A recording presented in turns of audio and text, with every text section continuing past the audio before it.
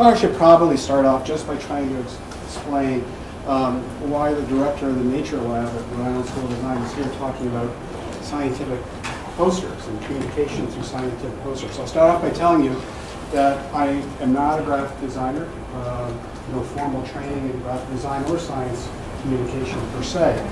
But um, as, as Sanjay mentioned, I have pretty extensive experience in informal learning environments. I spent 25 years at Mystic Aquarium working on exhibit development, exhibit design, creating learning experiences for a variety of audiences in our earlier conversation um, during the SciComm workshop. Um, I thought it was interesting because I, often we talk about communicating to the general public, let's say. But, know, public means a lot of things, right, in terms of multiple audiences, coming from multiple perspectives. And I think it's important to reflect on audience. I'll talk a little bit about that. And certainly in, um, in settings in which uh, we're trying to communicate science to our, our colleagues, or poster design workshops, or poster design uh, sessions, poster sessions rather. Um, you know, there really are myriad perspectives, multiple audiences that we're trying to communicate with, and hopefully we'll talk about touching on, on those kinds of, of, of topics. Really thinking, our goal today, uh, many of you are looking certainly for tips perhaps and some insights as to how to improve uh, the graphic presentation, the qualities of a scientific poster. Hopefully it will get you thinking a little more broadly about visual communication in, in general um, and how to become more effective at uh, looking at visual information, organizing visual information. The Nature Lab, for those of you, I suspect, how many of you have been there, the Nature Lab? few of you, so most of you have not. The Nature Lab is this interesting and intriguing place in an art design school. It's a unique resource in an art, art design school, and it's a unique resource, educational resource in general. Uh, in this image, you can see the main room of the, of the Nature Lab, which has this cabinet of curiosities kind of feel to it, with thousands and thousands of specimens, perhaps 80,000 specimens now. Uh, it's been in existence since uh, 1937 and it serves as a source of inspiration for art and design students. It's a lending library of natural science specimens.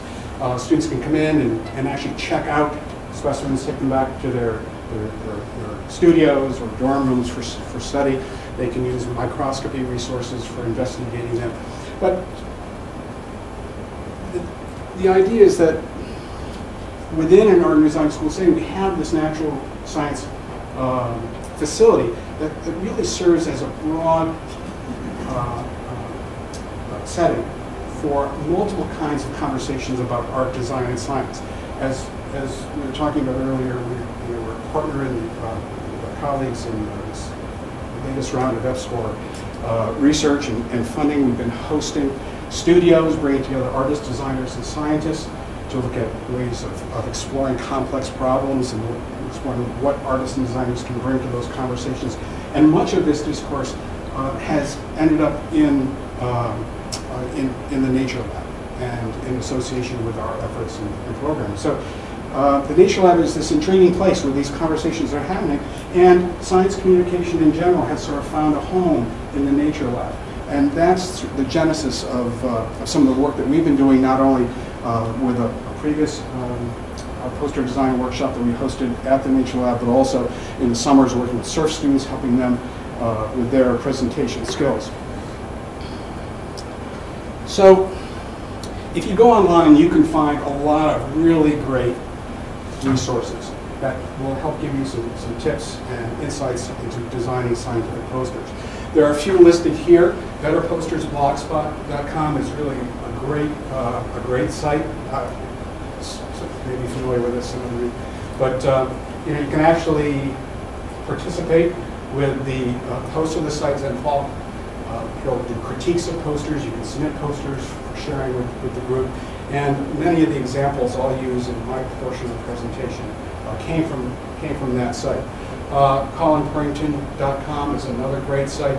I would also encourage you, if you, those of you who are not familiar with the series of books and the website uh, that Garr Reynolds has put together, under, under Presentation Zen to, uh, to check those out. It's really insightful, not only from the standpoint of, of, of, of graphic communication, but using contemporary media tools, PowerPoint presentations, how to become more effective in the use of, of text and graphics, uh, really great insights, and I rely on that, um, relied on his books quite a lot. But I do come to this uh, from the perspective of someone who crafts informal learning environments, particularly in aquarium settings. And I thought what I could share is uh, some observations on things that I've uh, learned make really great exhibits in informal learning settings. Um,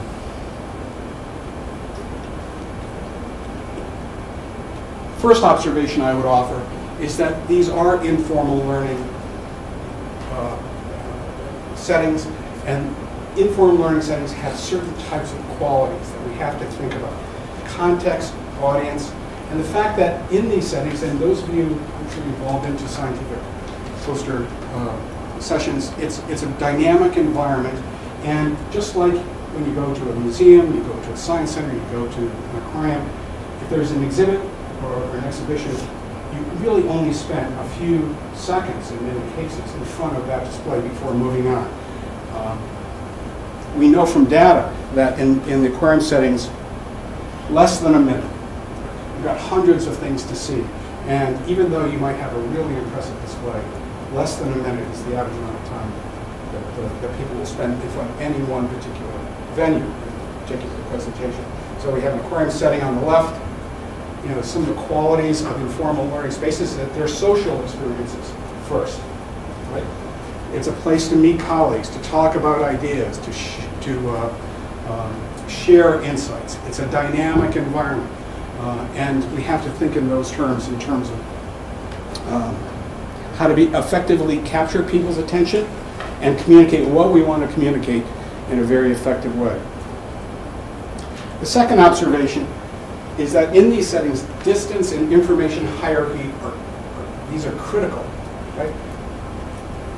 Oftentimes we think about scientific posters you know, in, in, the, in the framework of a scientific paper, right? We've got our diagrams, right? We've got our images. We cut and paste and, and assemble that into, uh, into a poster format. But really it's a whole different mode of communicating. People approach uh, a poster that's hanging on the wall. I think of it once again as an exhibit from a whole uh, series of sort of attitudes, right? You're approaching it from 10 feet away, from 5 feet away, from 1 foot away. And each in each of those uh, situations, uh, the, the dynamics of what we're communicating, what people are perceiving changes. So in short, people look at exhibits in an aquarium setting again, both from far away, right, and up close. And what draws us in at each sort of step of the way is a little bit different. So hierarchy is really critical. This is a sort of a typical aquarium gallery, right? A mixture of exhibits and graphics. And the graphic on the right sort of showcases what I mean. We're talking about an exhibit that has, and in this case, the gra graphic has a very distinctive title, Caribbean Mangrove Swamp. So we know what this is about. You know, what's this about? That's the first question we ask.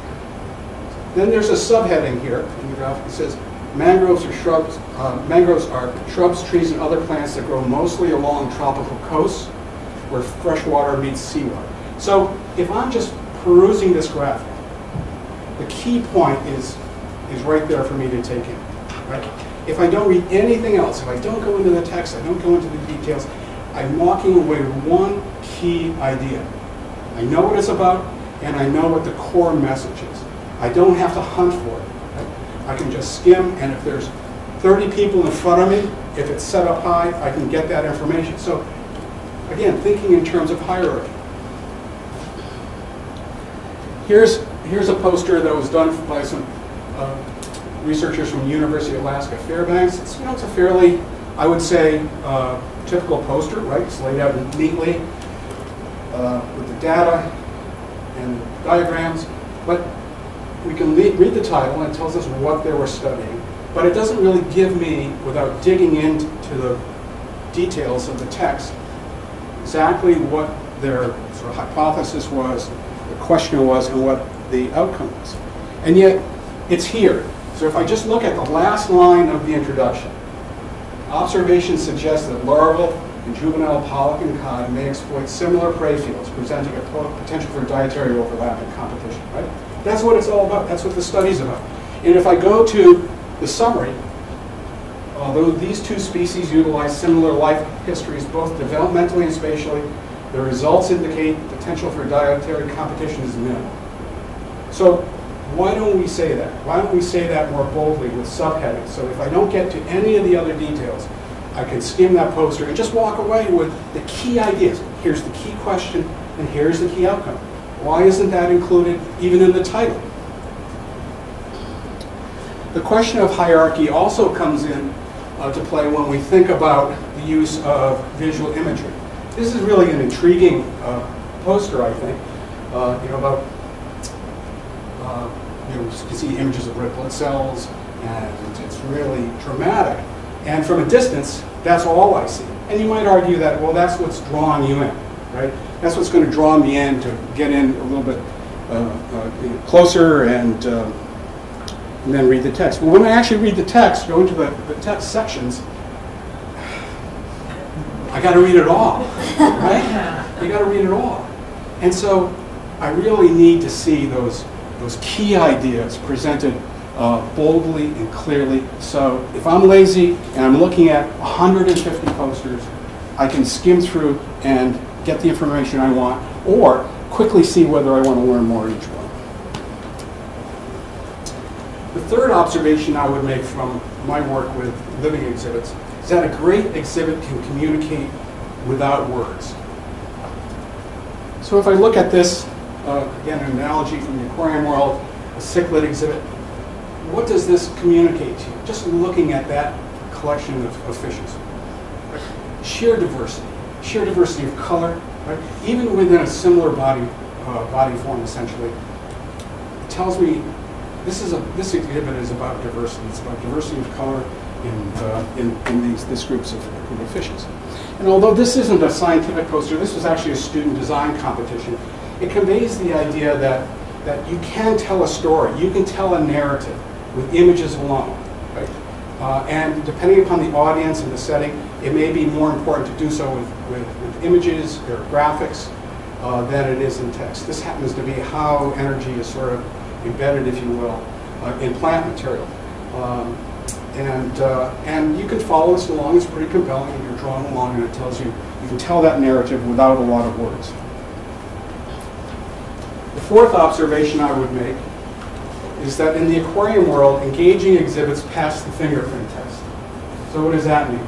Well, the most successful exhibits at the end of the day are the ones where you have to come through with the glass cleaner and wipe all the fingerprints and a little bit of slobber off of the glass, right? Because people are coming in and they're getting drawn into the exhibit. And they're saying, wow, what is that? And there, there's a fingerprint right there. Look at this fish. What is that? and they go through and they find something engaging and intriguing, and they step back and say, oh, what is that species? What is, what's going on here? And so the fingerprint test is, I would use the analogy of, you know, let's not ignore the value of a real, really compelling image. Right?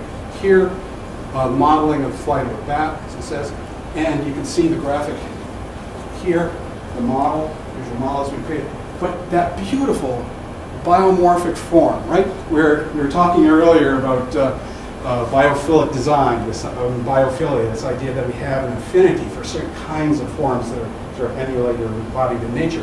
And biomorphic forms like this are, are exactly that. But that's just engaging, right? And it also tells us something about the behavior or the, what, what they've been, what the actual uh, flight pattern is um, that they're that they're analyzing. The value of an image, it doesn't have to be complex, but it can just be beautiful and intriguing. It's something that we, again, have, are naturally drawn to. And here's an example from Better Posters uh, blog spot once again, and which, you know, this is not an unusual picture that's been included of a pollinator, bee, uh, and some flowers, but it's beautiful. It's just beautiful. And it's something that, that doesn't occupy a tremendous amount of space in this, um, in this poster. Uh, it can be enhanced, and this was an example where, uh, where came through and reorganized some of the headings, left out some superfluous uh, information. Like, you know, you see the the logo in the upper left, taken that out, aligned the, the, the title and that image a, a little more closely, and I think it was much more effective. I should point out here to my, to, to the idea that when we tell people what our graphs are actually saying, rather than telling them what it's about, um, you can see in this, uh, in this presentation um, that they've actually summarized what, what's happened, what's happening, what's presented in the graph. So this says, you may not be able to read it, land that was only uh, minimally used has significantly higher species richness than the land that was lightly or intensively used. Okay, so I don't have to try and read the graph, right? I can, you're telling me what, you're, what it says, but you're interpreting your formula. I think that's all. The last observation is, and I tell all our students at RISD this, successful exhibits have three things. And this goes to sorry, our own human tendencies. Color, movement, movement, and interactivity. If you have an exhibit that has those three things, from a marketing standpoint, you're likely to be successful. Now, I'll leave it to Micah to talk a little bit more, a more uh, detailed way about, about use of color and role of, of color. Um, there are certain things that are just a little too intense and kind of put us off. But I think it is important to think about complementary colors and the ways in which they can draw us in. Um, but you might say, well, how do you create movement in a static two-dimensional image? Right? Well, if, here's an example where there is an implicit movement, a movement of your eye through the information. And it's done based on the way that the panels, individual panels are laid out. And in fact, in the central panel, you can see that there are actually arrows that are drawn your eye along. It's asking you to read in a certain way. So this, you can imagine your eye transiting the, the, the, um, uh, the poster, you know, down, down, down in sequence. And we have to be mindful about where our eye, where we want our uh, reader's eye to go and where it actually goes. Here's another example from Better Posters Blogspot. So here we have uh, really a series of really, um, I think, uh, interesting graphics, not a lot, of, a lot of text. And the authors really want us to look at the blocks this way, right? You got the problem outlined across the top and data outlined in a horizontal block across the bottom. But I would ask you to do something. Just look at the poster on the left and squint your eyes a little bit. Squint your eyes as you're staring at it. And what, in fact, do you see? You see two vertical panels, right? That's actually how you're reading it. And it has to do with how the, the, the blocks are laid out. Well, how would you solve this problem? Well, uh, he did. He suggested that you could improve this by doing one simple thing, and that is increasing the space, right? This gap between the upper and lower blocks of text. And when you do that, now all of a sudden the upper panel reads as a single block, and the lower ones as a single block. Here's another example of where I think we want to look carefully about where your eye is drawn and where the content is laid out, right? So interesting, right? Spiral, our nautilus shell, uh, essentially, and, and I'm drawn into the center, right? And where does your eye want to go? It wants to spiral outwards. Unfortunately here, the introduction is in the upper left, the methods are here, and the results are over here. So in my, my view, this doesn't really reinforce the way in which your eye is naturally drawn. It's an interesting and creative way of presenting information, you could argue that this, this might attract somebody's attention from afar. But here you have to look at where naturally your eye wants to go and then follow the, the content, it seems to me, in a similar way. Now let me just wrap up by saying, um, we'll we're talking a lot about visual communication and organization of information on a static graphic. But I'll, I'll, make a prediction here that within just a few years, we will be working with other kinds of dynamic media, right? even in uh, scientific poster uh, sessions, right? How many of you have, have worked on, say, putting an iPad in a, including an iPad, let's say, in your scientific poster? And I know that there are sometimes issues, I've learned in conversations with colleagues, that sometimes you're not allowed to use uh, electronic media in a, in a poster session, but... Uh, There's some examples at AGU this year. Are there? Of, of iPads. Yeah, iPads. Yeah. We, our SURF students have done that at the SURF conference. but what it does, of course, is it gives you the ability to to dive in more deeply, right? You can show images from, from a field site, you can show data in, in uh, much more detail than you really have room for in a static, uh, in a- static graphic.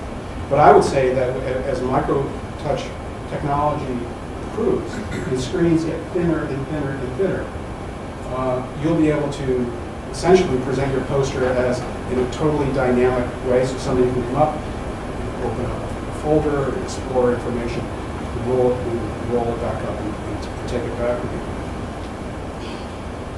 Likewise, we'll have the ability to um, work with augmented reality to bring other kinds of video information into a static poster. We're doing this right now. Uh, Cynthia Beth Rubin has, uh, with her students, uh, looking at marine plankton and working with Susanna and her team to look at new ways of representing uh, marine plankton, has been doing a lot of work with augmented reality, and you can check out this website, aurasma.com. The technology is pretty straightforward and and very user-friendly. So I guess the last point I would make is, I think we have to challenge ourselves. I think within our, we acknowledge that within our disciplines, our posters are more than just vehicles for presenting our research. They, re- they represent the identity of our labs, perhaps our departments uh, or schools, and there are elements that are often standardized that uh, sort of creates a brand identity. And it, sometimes it makes it hard to explore new ways of presenting the information in this format. But maybe we should question uh, what's the most effective way to engage our audiences. And this is a completely different style, it's a cartoon type of style. I think it asks us to say, well, how, you know, how bold do we want to be? And uh, for, in order to improve our, our, our ability to really target our audiences clearly and effectively communicate information and do it very quickly and efficiently. So, so thank you very much. I'll turn it over to Micah.